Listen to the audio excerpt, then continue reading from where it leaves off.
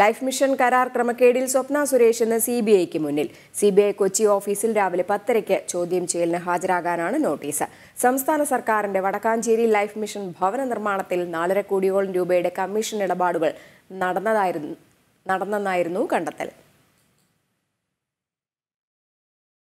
L D F സർക്കാരിനെ ഏറ്റവും പ്രതിരോധത്തിലാക്കി പുറത്തുവന്ന ക്രമക്കേടുകളിലൊന്നായ ലൈഫ് മിഷൻ കരാർ ക്രമക്കേടിലും അന്വേഷണം ഊർജിതമാക്കിയാണ് സി ബി ഐ സ്വപ്ന സുരേഷിനെ ചോദ്യം ചെയ്യാൻ വിളിപ്പിച്ചിരിക്കുന്നത്. ലൈഫ് മിഷൻ ഭവന നിർമ്മാണ കരാർ ലഭിക്കാൻ നാലര കോടിയോളം രൂപയുടെ കമ്മീഷൻ ഇടപാട് നടന്നുവെന്ന് സ്വർണക്കടത്ത് കേസ് പ്രതികളിൽ പലരും വെളിപ്പെടുത്തിയിരുന്നു. കമ്മീഷൻ നൽകേണ്ടി വന്നുവെന്ന് നിർമ്മാണ കരാർ ഏറ്റെടുത്ത യൂണിറ്റാക് എം ഡി സന്തോഷ് ഈപ്പനും മൊഴി നൽകിയിരുന്നു. പദ്ധതിയുടെ മറവിൽ നടന്ന ഉദ്യോഗസ്ഥ ഭരണ രാഷ്ട്രീയതല അഴിമതികളെക്കുറിച്ചാണ് സി ബി ഐ അന്വേഷിക്കുന്നത്. സ്വർണക്കടത്ത് കേസിലെ മറ്റൊരു പ്രതി സരിത്തിനെ നേരത്തെ സി ബി ഐ ചോദ്യം ചെയ്തിരുന്നു. യു എ കോൺസുലേറ്റിലെ അക്കൌണ്ട്സ് ഓഫീസറായ ഈജിപ്ഷ്യൻ പൗരൻ ഗാലിദ് വഴിയായിരുന്നു കമ്മീഷൻ കൈമാറിയത്. ഫോറിൻ കോൺട്രിബ്യൂഷൻ ആക്ടിന്റെ ലംഘനത്തെക്കുറിച്ചും സി ബി ഐ അന്വേഷിക്കുകയാണ്. രണ്ടായിരത്തി പത്തൊൻപത് ജൂലൈയിലാണ് വടക്കാഞ്ചേരിയിൽ ലൈഫ് മിഷൻ ഫ്ളാറ്റ് നിർമ്മാണത്തിനായി കരാർ ഒപ്പുവെച്ചത്. സ്വർണക്കടത്ത് കേസിൽ സംസ്ഥാന സർക്കാരിനെതിരെ സി ബി ഐ അന്വേഷണം ആവശ്യപ്പെട്ട് സ്വപ്ന സുരേഷ് പ്രധാനമന്ത്രിക്ക് കത്തയച്ചിരുന്നു. ഇതിനിടെയാണ് സംസ്ഥാന സർക്കാരിന് പങ്കാളിത്തമുള്ള ലൈഫ് മിഷൻ ക്രമക്കേടിൽ അന്വേഷണം ഊർജിതമാക്കി സി ബി ഐ സ്വപ്ന സുരേഷിനെ ചോദ്യം ചെയ്യുന്നത്